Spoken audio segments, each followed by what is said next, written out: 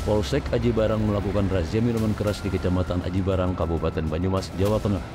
Razia miras dilakukan dalam rangka operasi cipta kondisi untuk mencegah penyakit masyarakat di wilayah Polres Banyumas, khususnya di wilayah Polsek Aji Barang. Dalam razia miras tersebut, Polsek Aji Barang berhasil menyita miras dengan berbagai merek, di antaranya 45 liter miras jenis ciu, 30 liter miras jenis tua. Kapolresta Banyumas Kombes Pol Edi Suranta Sitepu melalui Kapolsek Aji Barang AKP Heri Sudaryanto mengatakan, giat razia dilakukan di beberapa warung di Komplek Terminal Bus Aji Barang Kabupaten Banyumas. Selanjutnya puluhan liter miras beserta pemiliknya langsung diamankan ke Polsek Aji Barang untuk pemeriksaan lebih lanjut.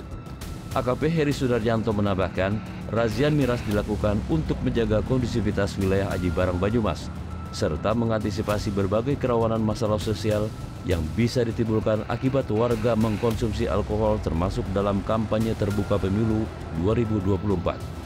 Kapolsek Aji Barang berharap giat razia miras ini dapat mencegah timbulnya penyakit masyarakat akibat mengkonsumsi minuman keras serta memberikan rasa aman dan nyaman kepada masyarakat.